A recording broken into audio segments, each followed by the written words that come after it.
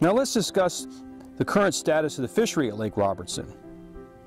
In the spring of 2016, biologists with the department did an electrofishing survey uh, at Lake Robertson where they uh, electrofished around the perimeter of the lake at nighttime and they collected 201 bass in this one survey.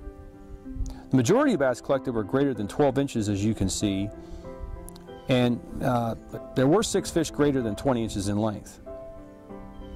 How does the bass size structure compare to previous years, you may ask? You can see that the bass population has remained fairly consistent over the years.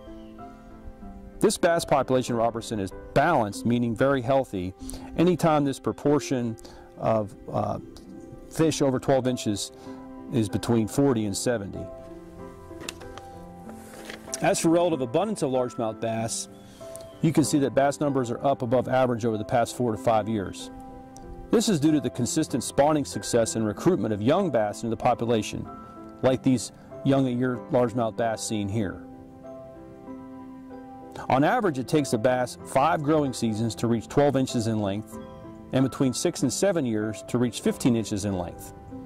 This is very good growth and is quite comparable to other reservoirs in northwestern Virginia. As we mentioned earlier, Lake Robertson is known for producing large sunfish.